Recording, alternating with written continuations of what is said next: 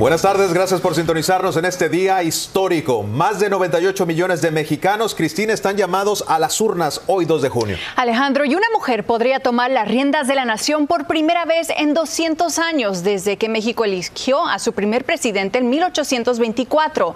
El nuevo mandatario o mandataria saldrá entre Jorge Álvarez Maínez del partido Movimiento Ciudadano, Xochil Gálvez, abanderada del Frente Opositor y la candidata oficialista Claudia Sheinbaum. La nación elige más de 20 mil cargos, incluyendo la renovación.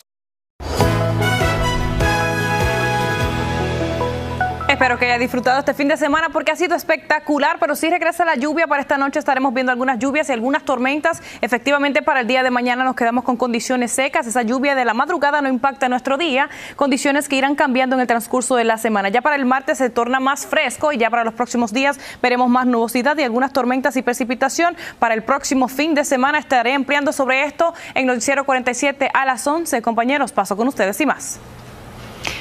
Muchísimas gracias a nuestra Tairi. Son 98 millones las personas que van a salir a votar el día de hoy en este día tan histórico, Alejandro. Sin duda, México hoy estará sentando un presidente con posiblemente la primera presidenta a cargo de ese país y por supuesto que nosotros tendremos cobertura completa, no solo con lo que está ocurriendo en México, donde las urnas cerrarán en aproximadamente una hora y media, sino con lo que pase a nivel local.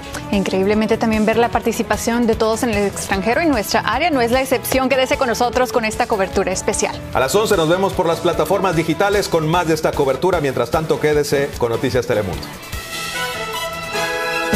Noticias Telemundo.